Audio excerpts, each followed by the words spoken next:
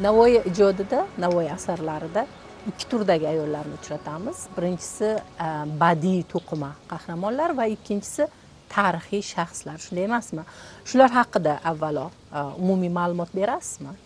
Hazrat navoiyni bir so'zlari bor gulsevar. Har e, hamsani baytlarida keladi. Duoda meni yod eting fotihada shod eting. Demak biz navoiyni qahramonlari aynan ayollar mavzusida suhbat qurar ekanmiz. Buyuk navoiyni duoda yod etib o'sha fotihada shod etamiz. Endi navoiyni mahorati gulsevar hamma narsada juda keng. U janrlar bo'ladimi? Ilmiy asarlar badiiy asarlar muhtasham g'oyalar keng fikrlar. Hatto navoiy fikrini kengaytirish uchun shaxmat ham o'ynab turganligi haqida ma'lumotlar borda. Obrazlar olami ham uni bir qirrasi hisoblanadi. Navoiyni barcha o'qishli ta'sirli u lirik bo'ladimi nasriy bo'ladimi yoki deylik ilmiy xarakterdagi tarixiy xarakterdagi asarlari bo'ladimi? Bolinki bitta baytini olganimizda shoh paytlarida ham biz ayollarni qahramonlarini ma'lum bir timsollarini uchratamiz. Endi navoiyni qahramonlar ayol qahramonlarini mengacha ham katta navoiyshunoslarimiz qisman o'rganishgan. Buni birinchi bo'lib e, o'sha tojik olimi toji usmonning bistisi adiba degan kitoblari bor. O'sha navoiy tilga olgan hirotning mashhur shoirasi e, gavharshod begimning nadimasi xodimasi bo'lgan mehri hiraviy haqidagi ma'lumotni uchratishimiz mumkin. Navoiy buni majolisda tilga olganda yoki deylik keyin o'sha ozarbayjon o'zbek adabiyotshunosining adabiy aloqalarining muhtasham vakili shahzodaga murojaat qilsak shahzoda ustoz ham o'ttiz to'qqiz qirqinchi yillarda o'sha navoiyni qahramonlariga chimdim murojaat qilganlar. Lekin bu erkak olimlarimizni e'tiborlari bo'lsa ayollarimizdan sharifa abdullayeva bularni alloh rahmat qilsin. bir ming to'qqiz yuz ellik to'rtinchi yilda navoiyni xotin qizlar haqidagi fikrlari degan mavzuda ilmiy ish yoqlaganlarda shu bilan keyin to'xtasin jalolovni bilasiz bu o'zbek adabiyotida umuman ayol shoiralar ayol adibalariga qo'l urganlar va o'zbek shoiralari degan ikki jilddan iborat kitoblari bor. Bu ancha mashhur kitob va juda ko'p shoiralarni ilmiy ijod ishlariga asos bo'ladigan kitob. Endi navoiy she'riyati va nasrida shirin nolamizni mantiqchi dilosoni olamizmi? Munajjim gulandonni olamizmi? Yoki sumanbo'y ya'ni sumanso deysizmi? sumanso deysizmi? Ularning barisi ilg'or bilimli ayollar siymosi. Shunday emasmi? Haqiqatdan to'g'ri nima? Gulsevar yaxshi anglabsiz. Navoiyni qahramonlari ayol qahramonlari hammasi hayot sevar o'z zamonini yaxshi ilg'agan o'sha rumiylar aytgan ichingdagi ichingni tushungan o'sha rumiylar aytgan hushyorlarga bering dunyoni deganday navoiyni o'sha badiiy to'qima qahramonlari bo'ladimi? Hayotdagi o'sha gavharshod begimni olamizmi? Halima onani olamizmi? Tarixda o'tgan ummaxonini olamizmi? Bibichey munajjimani olasizmi? Yoki hirot madaniy muhitining e, mashhur shoirasi mehri hiraviyni olamizmi? Yoki islom olamida mashhur bilasiz robiya aladviya? Bunga attor hazratlari o'sha tazkiratul avliyoda o'n sakkiz bet ajratgan bo'lsalar hazrat navoiy ham hayratul abrorda nima sahifa ajratganlarda ibrohim adham bilan ham birgalikda yaratgan e, tasvirlagan. Bularni o'qib o'rgansangiz hammalari yo dinda bo'lsin yoki dunyoda bo'lsin hayotda hunarda ilmda bo'lsin bular madaniy ilg'or ayollarimizni timsolida ulardan juda ko'p ixlos olish mumkin e'tirof olish mumkin harakat olish mumkin. Endi alisher navoiy o'sha lirik va nasr asarlarida yaratgan badiiy to'qima qahramonlar ayollarga murojaat qilsak ularni o'qib o'rgansak ularda bir e, tuyg'u bor bir holat bor bir tarz borki ulardagi hayotsevarlik mehnatga munosabat umuman ilg'or ayollarni obrazini navoiy talqin qilgan badiiy talqin qilgan. Mana masalan qarang mehribona obrazini olaylik o'sha hamsadagi shirinni olaylik yoki layli majnundagi laylini olaylik. Agar biz e'tibor bersak gulsevar hazrat navoiy bu ilg'or ayollarni boshqa ijodkorlarda ko'zga tashlanmaydi. O'sha asar sarlavhalariga ham chiqarganda masalan nima uchun farhod va shirin doston nomi? Layli va majnun doston nomi. Layli bilan demak shirin asar sarlavhasida ham kitobxonda o'quvchini o'z davrida hozirgi zamonda ham tortadida bu navoiyni mahorati. Ilg'or qizlar obrazini asar sarlavhasiga chiqarish. Farhodni yoniga qo'yish majnunni qaysni yoniga qo'yish. Yoki deylik o'sha hamsani ichki fonida mehribona obrazini olaylik. Bu navoiy yaratgan to'qima badiiy qahramon lekin bu an'anaviy qahramon. Nizomiyda ham keladi. Xusravda ham keladi. Mehnboni donishparvar erdi bilik ahliga shohi sarvar erdi. Qarang bu yerda endi ancha davlat rahbari Mehnboni timsolida navoiy ma'rifatga islom ma'rifati bo'ladimi dunyoviy fanlar bo'ladimi e'tiborda qaratyaptida Mehnboni obrazida. U nafaqat o'zi bilimparvar demak bilimga intiluvchi odamlarga ham shoh sifatida sardor boshchi degan g'oya ketadida bu bitta mavzu. Yoki deylik navoiy mana shu hamsa dostonida mehribonona atrofida o'nta olima qizlar ayollar haqida ham baytlar bitgan u alohida bobda berilgan. Lekin gulsevarxon bu ham an'anaviy obraz. O'nta qizlar obrazi nizomiyda ham uchraydi. Nizomida ham aynan mehriboni bilan o'sha shirinning nadimalari deydi. Lekin navoiyda bu ancha ko'tariladiki faqatgina nadima emas.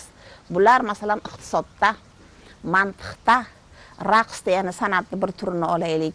Keyin o'sha e, voizlikda ham mana shu sohalarni mustahkam egallagan mehnbonaga shiringa maslahat berish darajasiga ko'tarilgan qizlar obrazida buni ulug' shahzoda ozgina o'rganganlarida keyin shahzoda ham hayratga tushgan. Chunki navoiyda bular faqatgina mehriboni yoki shirin uchun nadim emasda ular mamlakat davlat xalq el ulus yoki navoiy yashagan o'sha hirot madaniy muhiti. Temuriylar davlat boshqaruvida bo'lgan xuroson yoki mavron nahr bilan bog'liq holatlardagi ayollarni ko'tarilishi bilan bog'liq chiroyli holat tarzlarni navoiy mehribonida ko'rsatib bergan. Yana bitta narsaga hayron qolaman gulsevar. Mehriboni endi shirin vafot etdi farhod o'tdi. Mehriboni yolg'iz. Davlat boshqarishi kerak xalq ulus turibdi. Lekin xusravdan talab xati keladi. Uni Buzuruk mehr degan vaziri orqaliki talab xatida endi baribir u bilan kelishish kerak Mehribona endi. Mehribonini qarang o'sha mamlakatni tinchligi elni osoyishtaligi silmun deydiku qur'onda o'sha silmunni saqlash uchun shu navoiy shunday talqin yozganki mehriboni xusrav jo'natgan talabnomani u mehribon aytadiki buni men sudo afsunidek boshimga qo'ydim. Mana shu so'z bilan navoiy husratni tinchityaptida. Bu yerda ayol hukmdorida ham baribir nozik bir davlat boshqaruvini. Ya'ni sening men nomangga nomangdagi talablaringga bee'tibor emasman. Ilm yurtim uchun zamonni tinchligi zamonsozligi uchun deydi. Sudo afsunini o'qib o'rgansangiz bu demak o'sha odam bosh og'rig'ida qo'yadigan tumorga o'xshagan nima ekanda boshimga tumor qildim seni nomangni. Ko'ndim men roziman. Bizni tinch qo'y degan nima turibdida talab turibdi. Mana shunaqa holatlarda ham navoiy qarangki ayol hukmdor badiiy to'qima obrazi qahramonda yoritib beryapti. Endi navoiy qahramonlarining birortasi o'sha davr me'yorlariga qarama qarshi qo'yilganmi yoki bu qahramonlar o'sha davrga mosmi? Yoki biz bu ayollar navoiyning orzusi bo'lgan edi deyishimiz to'g'riroq bo'ladimi? Alisher navoiyni bu o'sha dadil hayotsevar u mamlakat rahbari bo'ladimi mehriboni? Yoki biz yuqorida sanab o'tgan o'n olima qizlar obrazi bo'ladimi? Yoki o'sha layli majnunlarga qarovchi ayollar obrazi ham bor orqa plan e, qahramonlar ham borda orqa planda. Mana shularga qaraganimizda albatta bunda navoiyni muhtasham g'oyalari milliy va umumbashariy g'oyalarini ham talqini bor lekin navoiy o'zi hayotsevar. Ko'p narsani hayot bilan to'g'ridan to'g'ri ko'rsatgan shoir adib sifatida qalam ahli sifatida qarasak navoiyni bu qahramon badiiy to'qima qahramonlarining timsollari hayotda bor edi. Navoiy endi buni albatta bu to'qima obrazni zamonasiga moslagan sizga ma'lumki temuriylar davrida jamiyatga ayollar ijtimoiy fikr bilan aralashuvi ancha baland bo'lgan yuksak bo'lganda.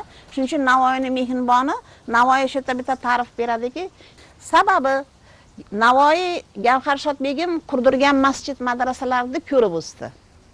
Yoki gavharshod begim bilan ham ma'rifiy majlislar qurdirgan mehri hiraviy haqida majolisda qisqa bo'lsa-da ma'lumot yozdi. Yoki o'sha hirotdagi katta bir faqih sufi ayol ham shoira ham davlat arbobi jamoat arbobi ham siyosatchi bir bibi munajjimadek o'sha ayol obrazi bilan zamondosh bo'ldi. Shuning uchun biz bemalol aytishimiz mumkinki navoiyni to'qima badiiy qahramonlari harakatchan ayollar ilg'or fikrli ayollar ya'ni o'sha davrga mos edi. davrga juda mos edi. Navoiy hamma narsani moslagan. Hech qachon juda pastlatmagan ham yoki haddan tashqari baland ham qo'ymaganda. Shu ma'noda qarasak mos edi. Chunki navoiy keyin navoiyni onasi ham buyuk ona bo'lganki bizga ulug' navoiyni berdi. O'sha ma'noda qaraganimizda onasi bilan qiyoslaysizmi qarangki onasini ismi hech joyda yozilmagan gulsevar. Bu juda qiziq holat. Lekin bizni shoirlarimiz mana o'zbekiston qahramoni abdullorov salima deb atadilar. Yaqinda muhammad ali o'zbekiston xalq yozuvchisi muhammad alini navoiy haqida romani chiqdi o'qib chiqdim. U kishi qutlug' beka deb atabdilar da shoir adiblarimiz turlicha nomlar bilan talqin qilyapti. Ba'zilar aytadiki ism bo'lgandir halima. Lekin oybek domla ba'zi shoir adiblar zamondoshlar alisherning onasi deb talqin qiladilarda. Shuning uchun men o'zim aytamanki navoiyni ilg'or fikrli badiiy qahramonlarida ham qaysidir ma'noda biz hozir ulug' navoiy onasining siymosini ham fikrlar ko'rishimiz mumkin uni fikrlari yoki nasihatlari bilan tanishishimiz mumkin. Lutfiyni darsiga borganda lutfiy doim navoiyga nasihat qilar ekanki ona mulozimatiga shoshiling. Navoiy onalar haqida yozganda gulsevar xizmat demaydi. Mulozamat deb juda yumshoq lutf bilan shu so'zni ishlatadida. Ona mulozamatiga shoshiling deydi. Yuqorida aytilgandek alisher navoiy e, badiiy to'qima qahramonlar bilan birga tarixda yashab o'tgan ayollar haqida ham so'z yuritadi. Bu ayollar tasvirida asosan nimalarga e'tibor qaratadi? Endi navoiyning o'sha tarixiy asarlarida ilmiy asarlarida yoki man aynan adabiyotshunoslikda to'rt yuz ellik to'qqiz nafar shoir haqida ma'lumot beruvchi o'zigacha yashagan o'z davrida yashagan to'rt yuz ellik to'qqiz nafar shoir haqida ma'lumot beruvchi tazkiralariga yoki qarangki yetti yuz yetmish nafar shayx haqida to'xtalgan nasoimul muhabbat tazkirasiga biz murojaat qilganimizda quvnab ketamizki bir maroq olamizki o'sha tarixda o'tgan mashhur ayollarni qahramon ayollarni uchratamiz. O'ttizdan ortiq. O'ttizdan ortiq. To'ppa to'g'ri o'ttiz beshta desak ham bo'ladi. Mana masalan majolisi nafoisda alisher navoiy mehri hiraviyga qisqa to'xtalgan. Bu o'sha hirot madaniy muhitining bir taniqli shoirasi bo'lgan. Gavharshod begim bilan ulug'bekda onasi bilan ko'plab ma'rifiy suhbatlar qurgan. Bu ayol haqida mana shu ma'lumot uchrasa majolisda. Lekin bizni quvontirgan yana bir go'zal lavhalar bor. Bu nasoibul muhabbatda ulug' navoiy. o'ttiz besh nafar sufiy shayx orifa ayollar qahramonlarni nomini ular haqidagi muhim daqiq hodisalarini ularning ma'lum bir shoh hikmatlarini yo hayotda dinda dunyoda qoldirgan yaxshi izlarini ma'lum ma'noda navoiy yozib qoldirishga harakat qilgan. Masalan shulardan biriga murojaat qilishimiz mumkin. Taskirani birinchi o'ttiz besh nafar ayol shayx ayollardan robiya Aladvi adaviya. Bu islom olamida juda mashhur sufiy ayol. E, navoiy keyin bu ayol haqida nimada ham to'xtalgan? Hayrat Abrolda ham to'xtalgan. Ibrohim adham haqidagi bobda ibrohim adham kabaga mm, namoz o'qib bordi deydi. Robiya aladviya niyoz qilib bordi deydi. Ya'ni ollohga to'la qalbi bilan ketyapti.